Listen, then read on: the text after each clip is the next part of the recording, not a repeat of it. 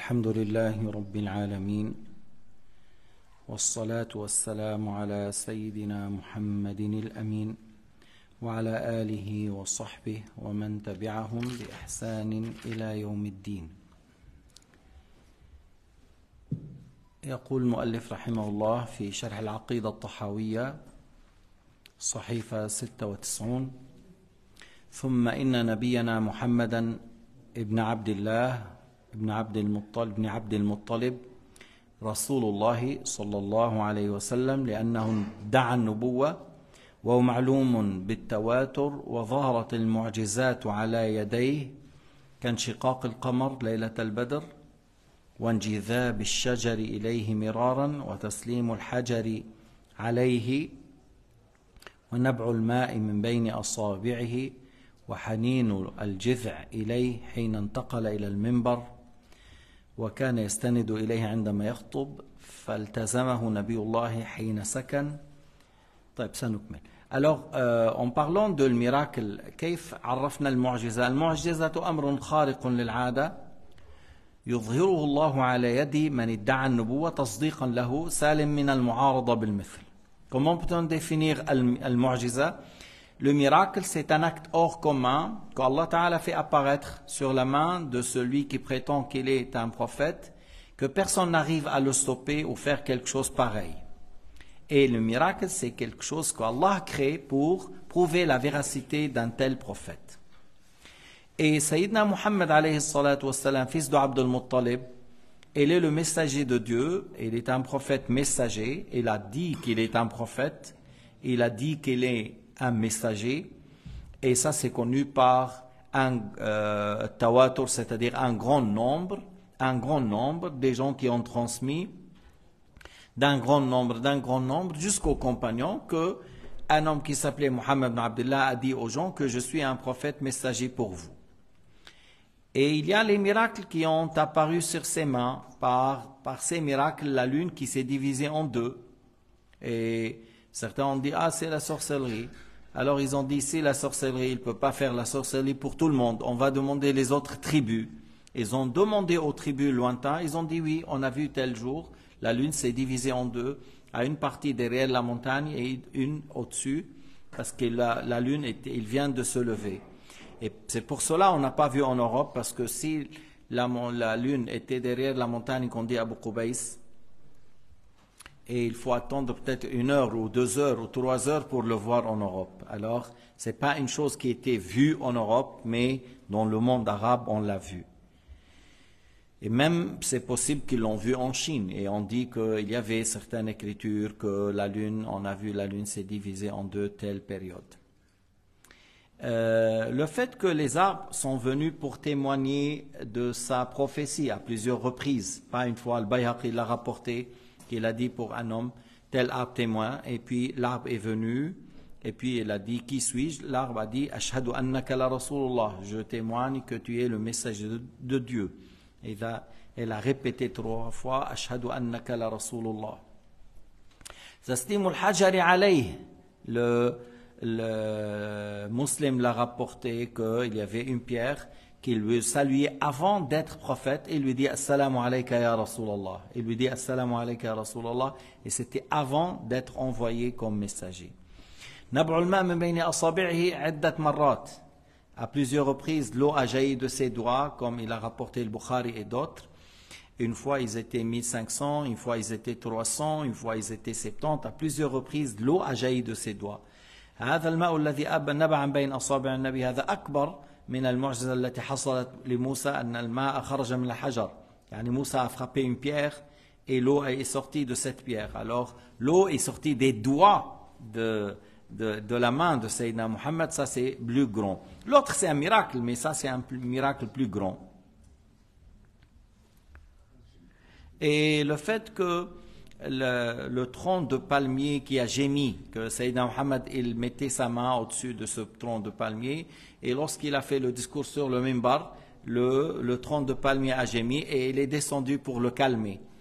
حنين الجذع يعني حن إلى النبي عليه الصلاة والسلام فنزل النبي فالتزمه سقيه الكثير من الناس القليل من الماء حتى كفاهم هذا أيضا أخرجه البخاري il a donné à boire c'était pas une grande quantité d'eau et qui a suffi à plusieurs ou une carafe de lait qu'il a donné à boire à plusieurs personnes par la suite, il a dit à Abu de boire, il a bu, après il lui a dit encore, il a bu, après il lui a dit j'arrive plus. Et après qu'il a tourné vers 30 ou 40 personnes, et c'était une carafe de lait peut-être suffit à 2-3 personnes. ومن معجزاته العظيمة وهو أظهرها وأقواها وهو أعجبها وهو المعجزة الباقية على الدوام القرآن الكريم maintenant le plus grand miracle de Sayyidina Muhammad parce que c'est un miracle continuel c'est le plus grand par rapport à tous les miracles et c'est le plus étonnant c'est le Coran al-Karim le Coran al-Karim c'est pas un style que les Arabes ont connu comme poésie comme discours normal هذا الأسلوب البلاغي في القرآن الكريم ليس شيئا عرفه العرب العرب العرب عرفوا الشعر والخطابة والنثر les Arabes avaient ces trois choses. La parole normale, les discours qui est bien fait, bien structuré, et les poésies sur certains rythmes. Le Coran Karim n'est pas de ces trois genres. والنبي محمد ما كان قبله يقول الشعر سيدنا محمد comme il a dit رب العالمين وما علمناه الشعر وما ينبغي له et on ne lui a pas donné la connaissance de euh, faire des poésies tu vois et après, à l'âge de 40 ans, il a reçu ce livre, dans lequel tu vois des choses concernant la science génétique, concernant le passé, concernant le futur, concernant la géographie de la Terre, concernant certaines euh, réalités scientifiques, physiques ou chimiques ou autres. لذلك أبو بكر الصديق قال هذا كتاب الله فيكم لا تفنى عجائبه ولا يطفأ نوره Abu Bakr Siddiq, il a dit, lorsqu'il a fait le discours, il a dit, voilà, entre vos mains, le livre de Dieu dont les choses étonnantes ne seront jamais clôturées ou achevées, et sa lumière ne s'éteint jamais. Et toujours jusqu'à nos jours, on est très étonné que on parle de certaines choses, puis après on trouve quelque chose dans le Coran qui, qui a parlé de ça, ou des choses qui étaient dans le Coran, nous on n'a pas fait attention par la suite, la science confirme. Par exemple, par exemple comme ça, tu dis souvent dans l'histoire de Pharaon Haman, Pharaon ou Haman, et, un, chercheur français, il a dit, mais le mot Haman dans cette langue, ça veut dire ministre de construction. On a dit à Haman de construire les pyramides pour lui, des, des, bâtiments ou euh, des, des, choses très hautes. Et tu vois, et, يا هامان ابني ابني لي صرحا لعلي ابلغ الاسباب قل هذا بعض يعني c'est ce qu'il dit certains chercheurs que c'est un mot qui veut dire le, responsable, le ministre de la construction, comme on dit, الوزير الإعمار أو ونحو ذلك. أو مثلا شوف قديش يعني tu vois comme lorsqu'on va dans l'histoire au temps de Youssef alayhi salam, Youssef alayhi salam c'était avant Moussa bien sûr par milliers d'années. On parle le, celui qui dirige l'Égypte on dit roi, on dit le roi. Et au temps de Moussa on dit le pharaon. Et regarde dans le Coran, lorsqu'on parle de Youssef, il parle de Fidin il-Malik, le roi. On, traite le responsable de l'Égypte, on dit roi. Après, au temps de Pharaon, Moussa, on parle le Pharaon, Pharaon. Mais c'est un titre. Pharaon, c'est un titre. Et le roi, c'est un titre. Alors, qu'est-ce que le prophète Mohammed a fait comme étude dans l'histoire et dans telle écriture pour savoir qu'à l'époque de Moussa, le dirigeant de l'Égypte, on dit roi, et au temps de Moussa, on dit Pharaon. Voyez, c'est des, choses que très simples, où lorsque quelqu'un il dit oui, le, le, le son qui est le plus dérangeant, c'est l'âne. Et, et Luqman a dit à Bunayya, dans le Coran, Allah Ta'ala nous a dit que Luqman a dit à son fils, baisse ton voix, la voix, parce que le plus dérangeant à l'oreille, c'est celui de, de l'âne. Et les études scientifiques le prouvent aujourd'hui. Et bien sûr, encore, on va avoir, si on reste mille ans, on va trouver encore des choses étonnantes dans le Coran Karim. Beaucoup de choses étonnantes. Au sujet de, dans Surat Al-Kahf et les gens de la grotte, est-ce que Sayyidina Mohammed était un médecin pour dire que le corps de l'être humain, s'il ne tourne pas à droite, à gauche, il aura des problèmes, tout ça? Tu vois alors Et Allah Ta'ala nous a dit qu'on les fait tourner. Ou hum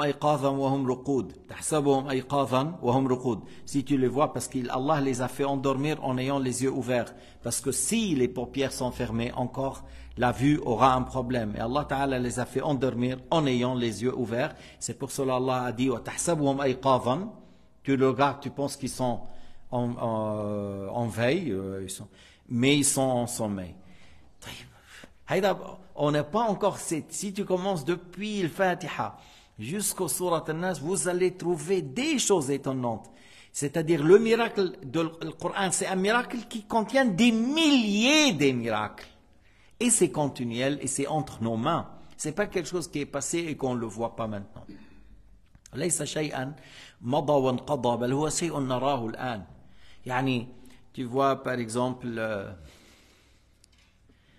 يعني dans l'histoire de Yusuf عليه السلام كذا من أين للنبي أن يتكلم بالتفاصيل d'où le prophète Mohammed savait l'histoire de Yusuf en détail deux personnes avec Yusuf dans la prison chacun il a vu un rêve comment Yusuf a interprété le roi après sept ans il a vu un rêve on a demandé à Yusuf d'interpréter mais une telle histoire à tel détail comment le prophète Mohammed peut savoir ça si c'était pas une révélation parce que lui il n'a pas appris à lire et à écrire l'arabe la langue arabe إذا النبي محمد كان أميا ما تعلم القراءة والكتابة كان أفضل من تكلم العربية وخير من تكلم العربية وكان أفصح العرب نعم ولكن هو ما تعلم القراءة والكتابة. فمن أين سيأتي بتفاصيل قصة يوسف بهذه الدقة وبهذا التفصيل؟ رؤيا من رأى من دخل مع يوسف السجن أو الملك والتعبير والتأويل.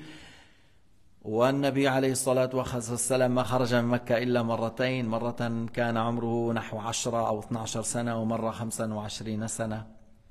إذا هذا كتاب الله تعالى لا يطفأ نوره ولا تفنى عجائبه. ومن عمل به ومشى اهتدى. Celui qui le met en pratique trouve la guidée. Et dans la récitation de de ces versets. Dans chaque lettre, il y a des hasanat.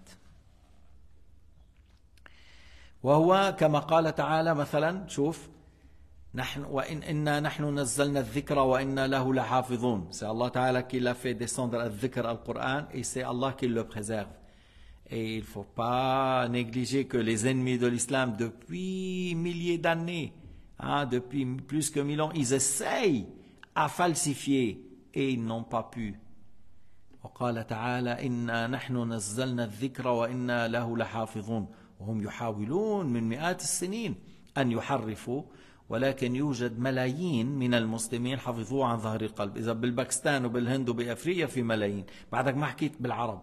Hein, si tu regardes la communauté pakistanaise, indienne, turque, euh, Afrique, il y a des millions qui ont appris le Coran par cœur. Que dit-on pour la communauté arabe?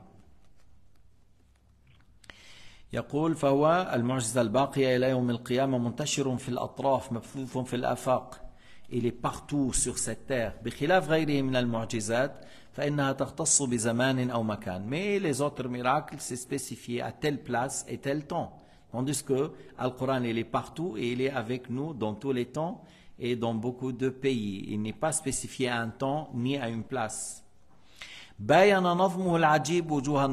style du Coran n'est pas comme les autres styles, comme on a dit, n'est pas quelque chose de connu chez les Arabes. Lorsque le Coran était révélé, les Arabes étaient dans le sommet de l'éloquence dans la langue arabe. Comme tu dis, il y avait la guerre par l'épée, il y avait la guerre par la poésie. كان في حرب بالسيوف وحرب بايش بالقصائد والشعر كان ما يسمى المعلقات il y avait ce qu'on dit المعلقات ce qu'on attache hein, les, les poésies qu'on la colle à la Kaaba c'est très beau regardez notre poète Labid ibn Rabi'a Zuhair ibn Abi Sulma euh, regardez telle personne qu'est-ce qu'il a dit on mettait ça sur la Kaaba pour que les gens voient cette beauté dans la poésie le Coran lorsqu'il était révélé ils étaient à ce moment-là et personne n'a pas pu faire comme ce Coran. Même il y a un défi que vous arrivez tous ensemble, vous n'arrivez pas à faire comme un chapitre. مش تحداهم أن يأتوا مثل هذا القرآن ثم تحداهم أن يأتوا مثل عشر سور ثم تحداهم أن يأتوا بمثل صورة من مثله مثل والعصر إن الإنسان لفي خسر إلا الذين آمنوا وعملوا الصالحات وتواصوا بالحق وتواصوا بالصبر Ah, c'est quelques ayats. Si tu l'écris, c'est deux lignes. Shafi'i, il a dit, si les êtres humains lisent Surat al-Asr, il médite, ça leur suffit. Ça leur suffit. Regarde, qu'est-ce qu'elle conforme, qu'est-ce qu'elle renferme comme sagesse, comme des choses bénéfiques. L'être humain, il est dans une perte, dans une diminution, sauf ceux qui ont cru en Dieu et qui ont œuvré dans le bien. Bon, alors croire et œuvrer dans le bien, ça demande après quoi? Le fait de patienter, à résister sur ça jusqu'à la mort, et on a besoin que l'un conseille l'autre. إلا الذين آمنوا وعملوا الصالحات وتواصوا بالحق وتواصوا بالصبر. وتحدى به جميع جميع الأنام وقرعهم بالإفحام يعني ils étaient défiés à faire comme vous dites que vous êtes les maîtres de la langue arabe. Allez-y, faites comme un chapitre, faites comme dix chapitres, faites comme ce Coran. Ils n'ont pas pu. فلم يتصدى للاتيان بما يوازيه او يدانيه واحد من مصاقع الخطباء. Il n'a pas quelqu'un qui a osé, qui a dit moi je peux faire. يقال يقال, hein, ça a été dit que euh, qui est l'auteur de livre Kalila Odumna, qui a fait un livre au nom des animaux. Et ça a été dit que lui, il voulait faire mais vraiment quelque chose de très, très, très loin de l'éloquence de la langue arabe. ولم ينهض بمقدار أقصر صورة منه ناهض من فحول الشعراء البلغاء مع أنهم أكثر من حصى البطحاء ورمال الدهناء c'est-à-dire les grands poètes ils n'ont pas dit moi je vais faire comme comme ce chapitre, comme le plus petit chapitre. Il n'y a pas quelqu'un qui a prétendu que lui, il est capable, malgré qu'ils étaient comme le sable du désert. Les poètes à l'époque, c'était, c'était comme le sable du désert, pour dire ils sont très très nombreux.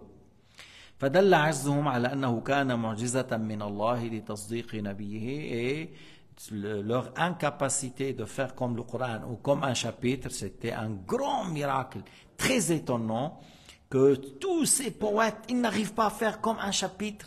Alors c'était quelque chose de très étonnant, plus étonnant que l'incapacité des médecins au temps de Jésus ou les sorciers au temps de Moïse, parce que c'était des eux, ils espéraient, tu vois, ou ils, au temps de Jésus et, au temps de Jésus et de Moïse, il n'espérait pas de transformer un bâton en un serpent. Il n'espérait pas de retourner un mort à la vie. Il n'espérait pas. Ils étaient bloqués devant ces miracles de Jésus et Moïse. Mais les Arabes, les poètes, les discoureurs, c'était leur domaine, la langue arabe. C'était leur vie, la langue arabe. La poésie, c'était leur toute chose. Il est, alors, c'est des gens qui espéraient faire, ils étaient capables de faire quelques milliers de vers de poésie sans préparation. Sans préparation, le fait de voir la maison de son ancien aimant, la fille qu'elle aimait, il a vu le trace de sa maison, il s'est mis là, ouh, il a été mille vers de poésie en parlant de cette femme,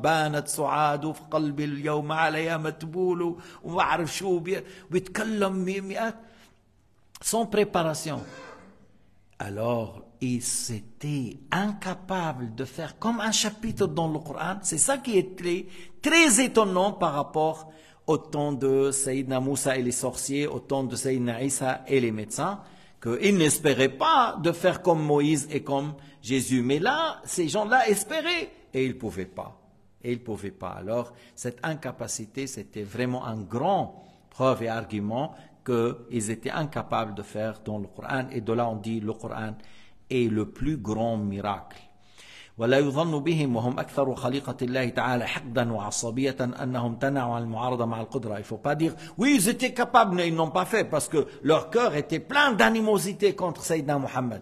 Et ils, étaient, ils cherchaient à tout prix le lutter contre lui parce qu'ils ont mis leur fils, leur prend, leur, leur propre cœur, leur bien en danger. Alors s'ils pouvaient le combattre avec un seul, un seul euh, discours, qui, il allait le faire. pourquoi ils, n'ont pas fait Ils ont couru vers la guerre et ils ont envoyé leurs enfants pour la mort ou eux-mêmes pour la mort?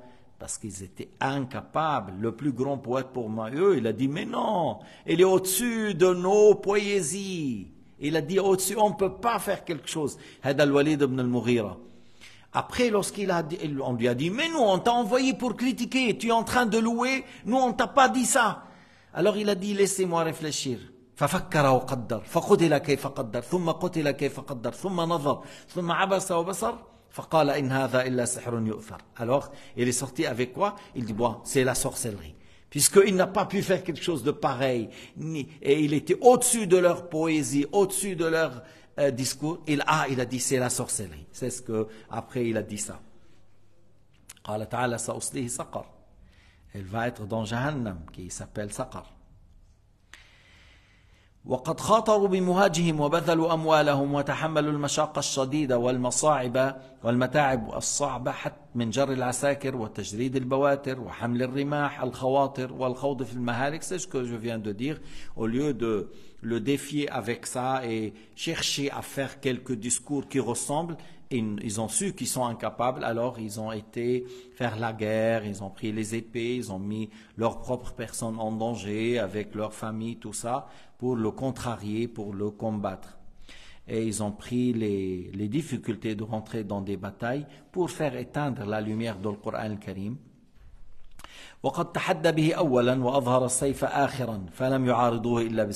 c'est-à-dire regarde qu'est-ce qu'il a il a défié par le Coran au début et il n'y avait pas de guerre il, il, les a défiés par le Coran et par la suite il y avait la guerre alors ils ont pris refuge vers la, la, guerre et ils n'ont pas cherché à dire oui, on peut faire comme ce Coran. Euh, S'ils pouvaient faire comme un chapitre, alors il allait le faire et ne pas combattre et préserver leur propre personne, leurs enfants, leurs biens et ne pas rentrer en danger. De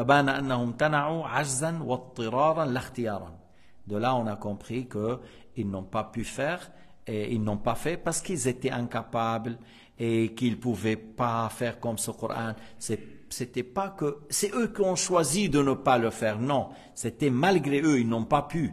Ils n'ont pas pu contredire le prophète en ramenant quelque chose qui ressemble au Coran al-Karim. Alors ils ont pris refuge. Malgré eux, ils ont allé vers la guerre parce qu'ils ne pouvaient pas répliquer contre Sayyidina Muhammad par quelque chose qui ressemble au Coran al-Karim.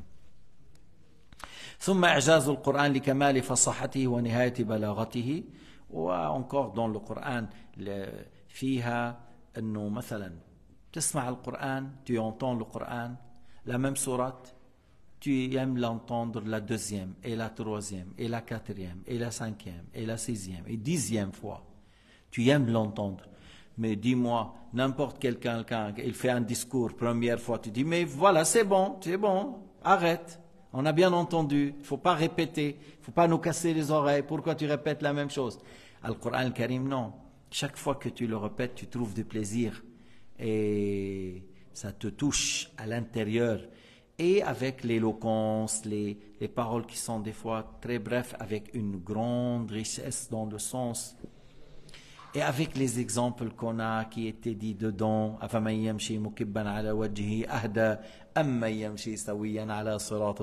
l'exemple de celui qui marche et ne regarde pas le haut et il est comme, tu vois, les yeux baissés, il connaît le mur et l'arbre, tout ça. Est-ce qu'il est comme celui qui marche tout droit, il voit les choses devant lui, il voit où il met les pieds, ils sont pas pareils. Et celui dans l'égarement, c'est pas comme celui dans la guidée.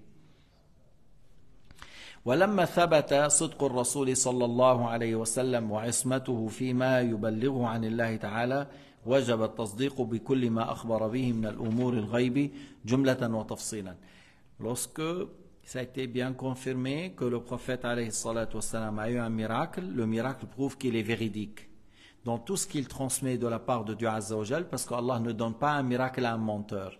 Alors, tout ce qu'il nous transmet de la part de Dieu est véridique. يعني لما قلنا النبي ادعى النبوة وأيده الله بالمعجزة فدل هذا على صدقه لأن الله يستحيل في حقه أن يصدق الكاذب. يستحيل في حق الله تعالى أن يصدق الكاذب. إذا أعطاه الله معجزة فمعناه صادق. إذا صادق في إيش؟ في كل ما يبلغ عن الله سبحانه وتعالى. لا يخطئ في أمور الدين. Alors le prophète est véridique dans tout ce qu'il transmet de la part de Dieu, ne se trompe pas dans ce qui est dans la religion, puisque Allah Ta'ala lui a donné, c'est-à-dire les miracles qui prouvent sa véracité. Parce que le miracle, c'est comme Allah nous dit, il est véridique, suivez-le. Comme, c'est comme il nous dit, il est véridique, suivez-le. Le fait qu'Allah lui a donné un miracle, ça prouve pour nous qu'Allah l'a choisi comme prophète. Et Allah Ta'ala ne donne pas la prophétie à un menteur. Allah ne donne pas le, le poste nabi rasoul à. Allah la yu'ti nubuwa li kadhib. فلما أيده الله بالمعجزة علمنا أنه صادق فإذا هو صادق قطعا في كل ما يخبر به ويبلغه عن الله عز وجل فإذا صادق في كل ما يبلغ عن الله جملة وتفصيلا فإن كان مما يعلم تفصيله وجب اعتقاده فإن لم يعلم تفصيله وجب أن يؤمن, أن يؤمن به جملة C'est-à-dire s'il nous a transmis des choses dans le détail et c'est des choses qu'on doit le croire de le, alors il faut le croire dans les détails comme le prophète nous a transmis. Et si c'est quelque chose qu'on ne peut pas le connaître dans le détail et le prophète nous a parlé dans la globalité, alors on croit à ce qu'il nous a dit dans la globalité. Si on ne peut pas le connaître comme on dit dans le détail, je dis voilà, on croit à ce, le prophète, ce que le prophète a transmis et on laisse l'interprétation à ce que Allah a voulu. لذلك قال الشافعي آمنت بما جاء عن الله على مراد الله وآمنت بما جاء عن رسول الله على مراد رسول الله Shafi'i, en, en, en, parlant de ce qui est apparemment équivoque, je crois à ce que Allah a dit selon le sens que Allah Ta'ala a voulu. Je crois à ce que le trans, Sayyidina Muhammad a transmis comme le, il a voulu Sayyidina Muhammad alayhi الصلاة والسلام. هلا الحافظ في فتح الباري يقول عند قول البخاري باب علامات النبوة البخاري لا ان شابيتر لي سيني النبوة. إيه الحافظ أفيان كومونتير قال الفرق بينهما أي المعجزة والكرامة أن المعجزة أخص. إلى دي سي كوا لا ديفيرونس أنت أن ميراكل أن بروديج إلى دي المعجزة الميراكل سي بلو سبيسيفيك لأنه يشترط فيها أن يتحدى النبي من يكذبه بأن يقول إن فعلت كذا وكذا أتصدق بأني صادق أو يقول من يتحداه لا أصدقك. حتى تفعل كذا. ويشترط أن يكون المتحدى به مما يعجز عنه البشر في العادة المستمرة. وقد وقع النوعان للنبي عليه الصلاة والسلام في عدة مواضع. يعني بعض الأحيان المعجزة يتحدى بها بعض الأحيان قد تقع المعجزة من دون أن يكون تحدي. Alors, il a dit, euh, Ibn que le, le, le miracle, c'est quelque chose de spécifique, que le prophète défie, défie ceux qui le contrarient, ceux qui n'ont pas accepté euh, de croire en lui, il les défie que voilà, Allah me donne quelque chose, que vous n'arrivez pas à le stopper ou faire quelque chose de pareil. Ou il lui dit, si je fais telle chose, est-ce que tu crois que je suis véridique? Comme le prophète Saleh, lorsqu'il a dit à sa communauté, ils ont dit, fais, fais sortir une chamelle porteuse, une chamelle porteuse, et on croit. Alors il a dit, si je le fais, vous croyez? Ils ont dit que oui, et Allah lui a donné. Et Sayyidina Muhammad lorsque ces gens-là, ils ont demandé des miracles, euh, il a fait, il a fait la division de la lune, c'était un défi, le fait qu'il a eu le Coran et il les a défiés avec ça, ou lorsqu'il a dit aux Bédouins, tu acceptes si tel arbre témoigne que je suis un prophète, est-ce que tu crois? Il a dit que oui.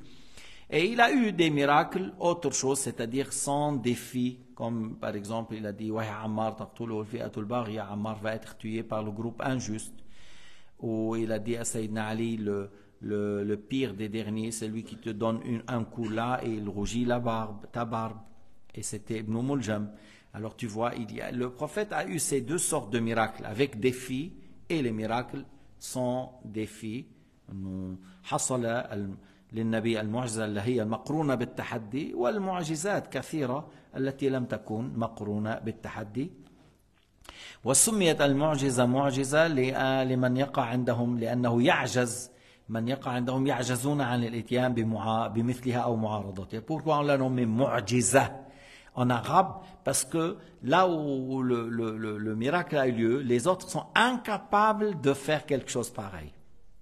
Mais attention, aujourd'hui à notre époque là, pour des petites choses. Ah, ils ont eu un miracle. Ils disent comme ça. Ça a eu un miracle. Quoi Parce que cette personne est tombée de cinquième étage et il n'est pas mort. Pourquoi Parce que le camion avec le sable a passé, ou le camion de poubelle, il a passé, lui, il est tombé avec les poubelles. Il est tombé dans le sac de poubelle et il est mort. Mais on ne dit pas c'est un miracle. C'est une coïncidence un peu étonnante.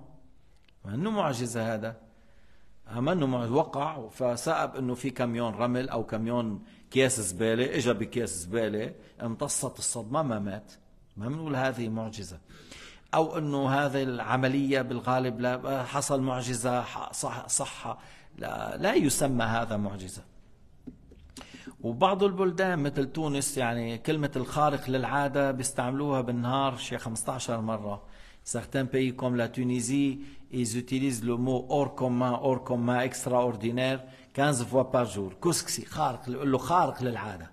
الكسكسي خارق للعادة ليش يا أخي pourquoi Mais yani, c'est pas quelque chose d'habituel. Et mais, machallah, les Tunisiens, tous ils font alors de, de ce couscous. Alors c'est pas hors commun, c'est dans les normes communes. Dans la norme. Mais tu vois, on utilise souvent des paroles qu'il ne fallait pas utiliser. Hein, il ne fallait pas dire couscous kharq l'al'ada ou il fallait pas dire à chaque fois qu'il y a une chose, c'est un miracle, non, il ne faut pas dire ça. C'est un acte pour les prophètes. Amma, al-wali Maintenant, un, acte euh, hors commun, hors commun, ça peut arriver à un, à un, grand saint, un grand homme, un pieux, et ce sera en même temps un miracle pour le prophète de cet homme. Par exemple, dans cette communauté, on a eu beaucoup des grands saints. Hein. Il y avait beaucoup des grands saints et que euh, ils ont eu des prodiges. Ils ont eu des prodiges. Il y a quelqu'un qui était dans l'eau de la mer, il avait quatre personnes avec lui. Il lui a dit Qu'est-ce que tu aimes boire? Il lui a dit Citronnade. Alors il a pris l'eau de la mer il lui a donné, l'autre a bu de citron. Et toi, il lui a dit jus de fraise. Il a pris l'eau de la mer, il lui a donné, il a bu jus de fraise. L'autre, il a dit jus d'orange ou quelque chose, il lui a donné. Et alors, trois, quatre personnes, chacun a bu. Et c'était à la base, lui, il a pris. Mais c'est Allah qui a fait. On dit ça, c'est un prodige. Et en même temps, c'est un miracle pour le prophète Mohammed.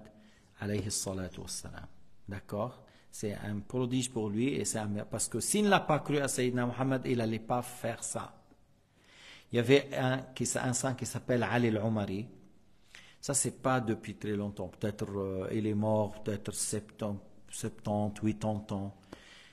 Il était encore les Turcs au Liban, et lui, il est à Tripoli, et il y avait un commandant turc très malade, Il y avait une bataille, il fallait être dedans parce qu'il jouait un rôle. Vous connaissez, lorsque le commandant est là, ça donne un espoir, ainsi de suite. Alors, euh, on a dit à Cheikh Ali al-Omari, on a dit, voilà, il est malade et on a besoin de lui. Il est sur le lit. Alors, Ali al-Omari a pris un bâton, bâton, et il a commencé à le frapper. Mais tu te rends compte, quelqu'un qui est malade, tu lui donnes quatre coups, tu le tues. Alors lui, il l'a frappé et le commandant et il est sorti du lit en courant. Et il s'est trouvé guérison par le fait de prendre quelques coups de bâton. Quelqu'un qui est malade, c'est un acte un peu étrange. C'est un acte étrange. Euh, bon. Euh, de, de, ça, il y en a, il y en a des, il y a des livres, même certains savants qui ont fait des livres au sujet de les prodiges, par exemple, de deux compagnons qui ont sorti de la maison de Sayyidina Muhammad et ils avaient une nuit très sombre. Allah a mis la lumière dans le bateau de l'un. Il y avait une lumière qui donnait une lumière pour passer. Et lorsqu'ils étaient vers en route, il faut se séparer. Allah Ta'ala a donné à l'autre encore une lumière dans son bâton et il a pu continuer. On parle de Nawawi, anhu, lorsqu'il écrivait et que la lampe, il n'y a plus de, de, l'huile, tout ça, Allah Ta'ala lui met la lumière dans son doigt, le pouce, et il écrivait avec ça, pour Nawawi.